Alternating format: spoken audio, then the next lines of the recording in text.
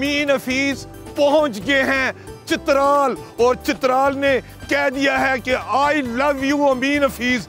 हम भी मोहब्बत में चित्राल को कहते हैं आई लव चित्राल। क्या खूबसूरत वादी है, क्या प्यारा ज़िला है। हमने देखा है, हर तरफ़ मोहब्बत फैलाने वाले यहाँ के मुकामी लोग हैं। हम भी आज आपको रवायती खाबे भी दिखाएँगे, आपको तरही मकाम की सैर भी कराएँगे। दरियाए चतराल जो है, उसकी खूबसूरती भी दिखाएँगे और क्या क्या कुछ दिखाएँगे, अभी नहीं बताना। सस्पेंस रहने दें, बहुत सैर कराएँगे। अमीन हफीज साहब, आपको चित्राल की, आप हमारे साथ रहिए।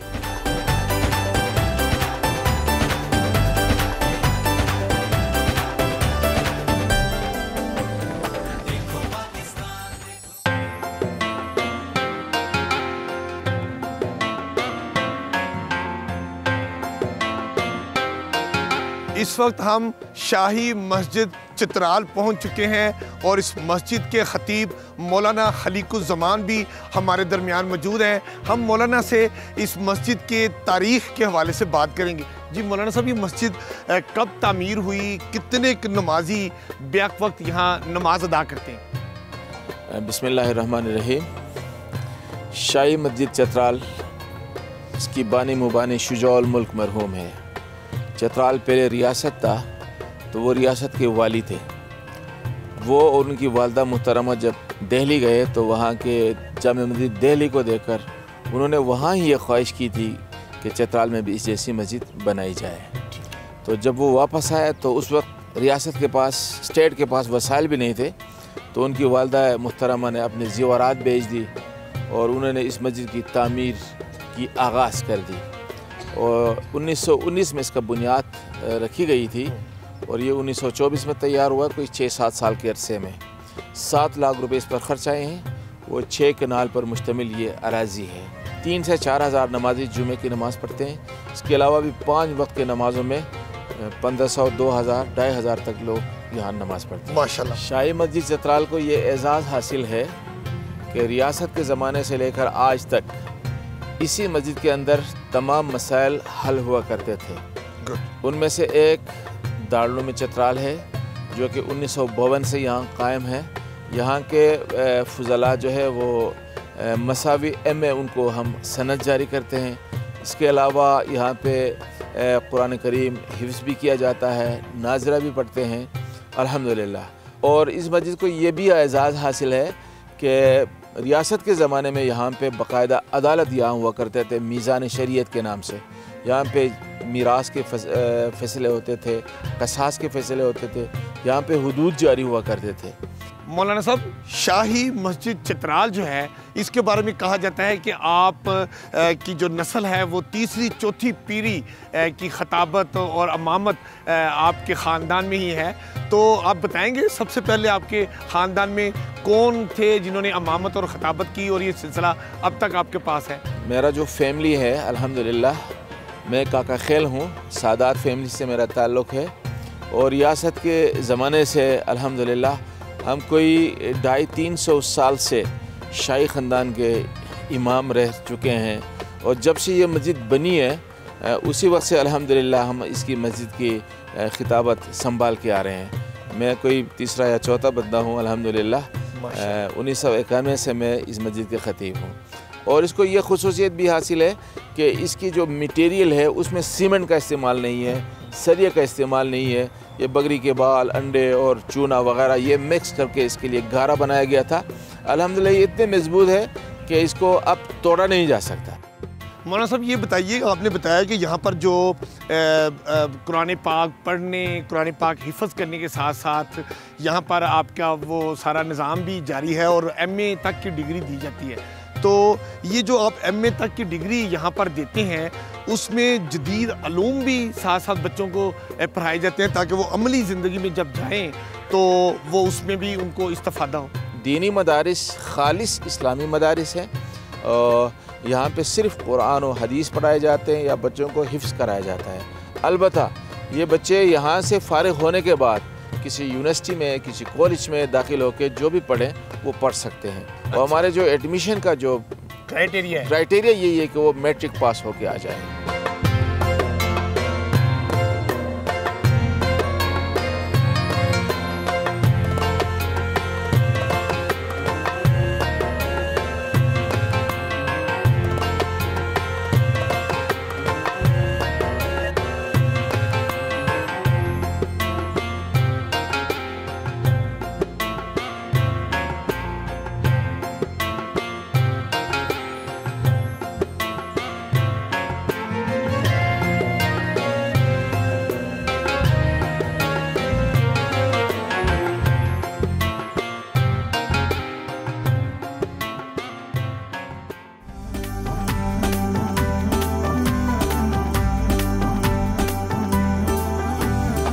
अब हम आपको चित्राल म्यूज़ियम का मुतालियाती दौरा करवाएँगे। बताया गया है कि इस चित्राल म्यूज़ियम में दो गैलरीज हैं। इनमें क्या कुछ है? कौन कौन सी नवादरात रखी गई हैं? वो सारी चीज़ें हम आपको बताएँगे। आप ज़रा मीन फ़ी साहब के साथ साथ तो आए। आ जाए आ जाए।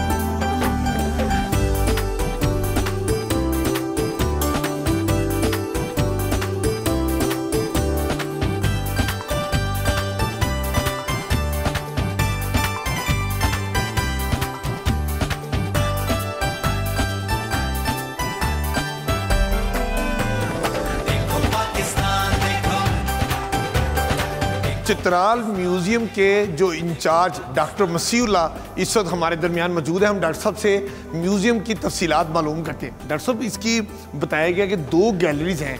ये दोनों गैलरीज क्या क्या इनमें रखा गया? हमारे पास बेसिकली ये दो गैलरीज जो है एक को हम इथनोलॉजिकल या कल्चर गैलरी कहते हैं और एक को आर्कियोलॉजी गैलरी कहते हैं। ठीक है। तो जो कल्चर गैलरी है उसमें वादी चतराल की जो कदीम रिवायात या उन लोगों के ज़ेर इस्तेमाल जो चीज़ें रही हैं वो डिस्प्ले हैं। हमारे पास मोस्टली कैलाश चूँकि इब्तदाई तौर पर यहाँ पे कैलाशी ने हुकूमत की तो उस वजह से यहाँ पे आपको जो एफिजी मिलेंगे आपको जो उनके ज़रिए इस्तेमाल बर्तन जो कपड़े जो सारी चीज़ें मिलेंगी और वोट से चूँकि उस वक्त रॉ मटीरियल उनके पास लकड़ी थी तो लकड़ी से उन्होंने इब्तदाई जितने बर्तन थे रोज़मर्रा की चीज़ें ये अंगूर बनाने के लिए हैं, जो रोज़मर्रा के जितने इस्तेमाल की और चीज़ें हैं, कपड़े बनाने की, ये सारी हमारे पास इन गैलरियों में मौजूद है। इसके साथ फिर हमारे पास कुछ मेटल ऑब्जेक्ट्स और उनके जो म्यूज़िकल इंस्ट्रूमेंट्स हैं या उनकी जो ज्वेलरी है, वो सारी भी इस कल्चर गैलरी में है। इसके बाद हमारी दूसरी जो गैलरी आती है, वो आर्कियोलॉजिकल गैलरी है, उसमें दो सेक्शन हैं हमारे पास। एक आर्कियोलॉजिकल जो यहाँ से चार पाँच हज़ार साल करीम कब्रें हम्म, दरियाफ्त हुई है उनके डांचे और ये सारी चीज़ें हैं। इसके साथ हमारे जो है ब्रिटिश ईरान के जो ब्रिटिश आर्मी के ज़ेर इस्तेमाल जो चीज़ें रही है जो गन्स रही हैं गन के साथ साथ जो हमारे दूसरे ऑब्जेक्ट्स रही है पैमाइश के औज़ार जो उस वक्त उनके ज़ेर इस्तेमाल रही है वही दो चीज़ें इनके डिस्प्ले पे हैं। और ये हिफी चीज़ है। हम्म। ये म्यूज़िकल इंस्ट्रूमेंट है वो शिकार करने के सारे औज़ार यहाँ पे पड़े हैं। फिर पोलो के लिए जो चीज़ें हैं वो सारी पड़ी हैं। डॉक्टर साहब ये बताइएगा कि म्यूज़ियम में जो लोग म्यूज़ियम देखने आते हैं उनकी कितनी तादाद यहाँ पर आते हैं? स्टूडेंट भी आते हैं टूरिस्ट भी आते हैं लेकिन ये डिपेंड करता है सीज़न पे। सर्दियों में इनकी तादाद थोड़ी कम हो जाती है। ठीक है। और गर्मियों में और ख़ासकर जो फेस्टिवल होता है जिस तरह चिलम जोश या शंदूर फेस्टिवल या जो भी इनके फेस्टिवल है तो तादाद काफ़ी हद तक फॉरनर भी बहुत ज़्यादा आते हैं और लोकल भी उसी तादाद में अच्छा ये लोकल और फॉरनर्स की क्या उसमें आपने जो एंट्री टिकट है इस म्यूज़ियम में आने के लिए वो क्या है? आ, इसके लिए जो लोकल थी पहले दस्ती अभी उनको रिवाइज करके हमने बीस किए हैं और फॉरनो टू हंड्रेड का वो फाइव हंड्रेड पे चला गया है उनकी टिकट।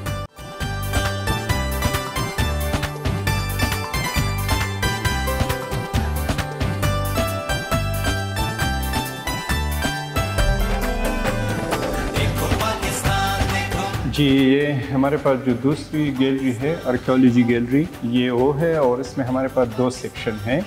एक आर्कियोलॉजिकल सेक्शन जो आज से हज़ारों साल कदीम कब्रें जो यहाँ से सेंगूर और इन इलाकों से दरियाफ्त हुई है उनकी सारी हड्डियाँ और उनके जो जेर इस्तेमाल कब्रों में चीज़ें थी या उसके बाद जो चीज़ें वो निकली हैं।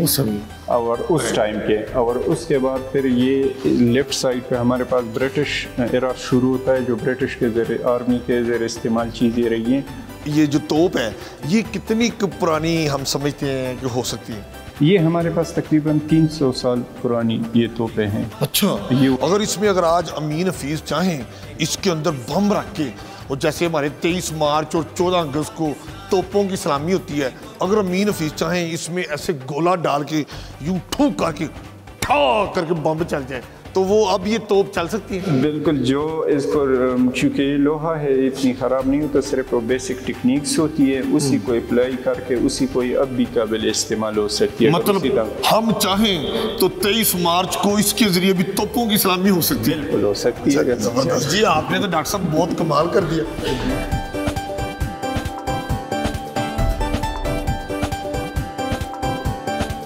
मशीन गन टाइप है। हाँ मशीन गन जैसे यूँ करके चलाएँ तो तर तर तर तर तर तर तर तर तर ऐसे एकदम गोली निकलती है। बिल्कुल ये वो वाली। टेक्निक से तो ये कितनी पुरानी है? ये ब्रिटिश शरा से हमारे पास ताल्लुक रखती है। तकरीबन डेढ़ सौ से दो सौ साल तक इसका 200 साल हाँ दो सौ साल और अभी भी इसका लोहा देखिए माशाल्लाह ज़बरदस्त।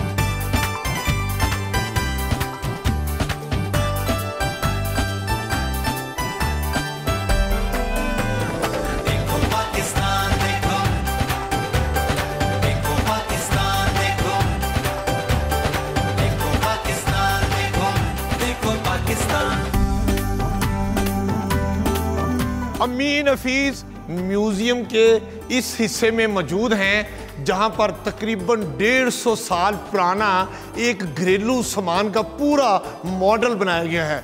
अमीन हफीज जिस चारपाई पर मौजूद हैं, ये लकड़ी और लेदर से तैयार शुदा है। इसके अलावा यहाँ पर जो झूला हम देख सकते हैं, ये बच्चे का झूला भी लकड़ी से तैयार किया हुआ है। ये बैठने की छोटी सी पीरी जिसको कहा जाता है, ये भी लकड़ी की है और इसके अंदर जो बुनाई की हुई है, वो भी लेदर की है। इस सारे घर में पुराने ज़माने का जो रेडियो है, बर्तन है, ये कुछ बर्तन मिट्टी के हैं, कुछ पत्थर के बने हुए हैं। एक मुझे बड़ा प्यारा लगा है कि यहाँ पर जो आप ये देख सकते हैं कि ये जो चाय और कावा पीने वाला दौर था, उसमें यूँ कावा डाल के अमीन हफीज साहब का दिल कर रहा है कि मैं इसमें जो यहाँ का रवायती कावा है, वो डाल के फिर इस तरह पीऊँ। हाय हाय हाय। और ख़त्म हो जाए तो दोबारा डाल लूँ। लेकिन ये कावा आप नहीं पी सकते। ये अमीन हफीसा भी पी सकते। थे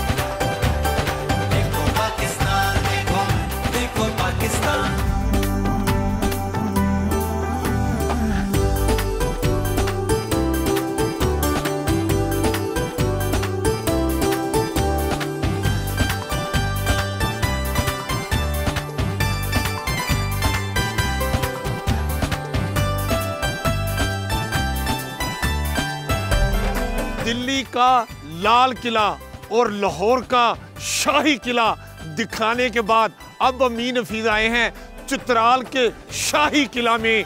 इस किले में क्या कुछ है? आ जाए आ जाए, मेरे पास आ जाए। लाल किला दिल्ली और लाहौर के शाही किले में तो ऐसी नवादरात किले के अंदर होती हैं। चित्राल के शाही किले के मेन गेट के साथ ही तोपें रख दी गई हैं। अंदर क्या क्या होगा मुझे कुछ नहीं मालूम। मेरे साथ रहें।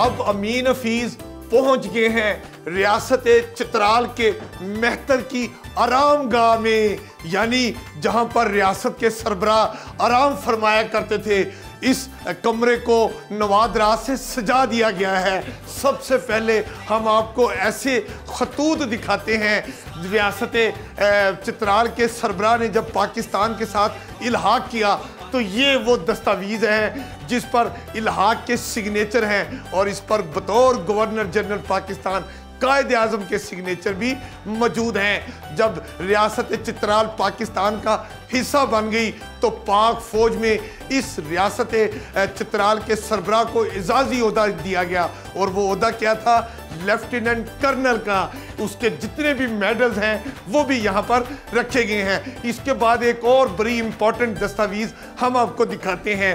ये वो खत है जो पाकिस्तान से मोहब्बत, यगानगत और प्यार का इजहार करता है। रियासत चित्राल ने जो कश्मीर के महाराजा है, उसको खत लिखा कि आप फौरी तौर पर पाकिस्तान में शामिल हो जाएँ, वरना आपके लिए अच्छा नहीं होगा। ये है रियासत चित्राल के सरबरा का पाकिस्तान के लिए मोहब्बत भरा हत इसके बाद हम आपको एक और हत दिखाते हैं, जो शायर मशरक अलामा डॉक्टर मोहम्मद इकबाल का हत है। ये भी चित्राल के साथ प्यार मोहब्बत का इजहार है।